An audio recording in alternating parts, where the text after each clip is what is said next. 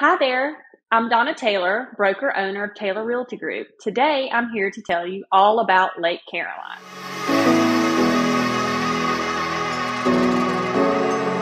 Lake Caroline is a beautiful community located just west of Interstate 55 in Madison County.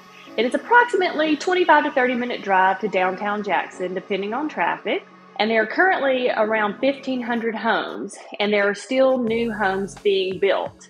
It started in the late 1980s, and I actually remember going out there as a teenager when there were just a few homes. It's hard to believe that nearly 30 years later, there's 1,500 homes and still more to come. There are two lakes in Lake Caroline. The Big Lake, which is Caroline, is approximately 853 acres, and then a smaller 70 acre lake. There are three pools, one of which was just built about two years ago, two clubhouses.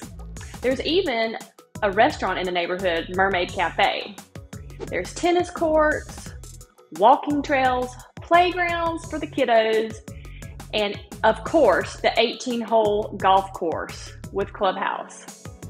Lake Caroline has lots of community events on the regular basis. They even have their own monthly magazine. Price ranges in Lake Caroline range from around 300,000 to over a million dollars, which is one thing that I love about the neighborhood is that there truly is a home for everyone.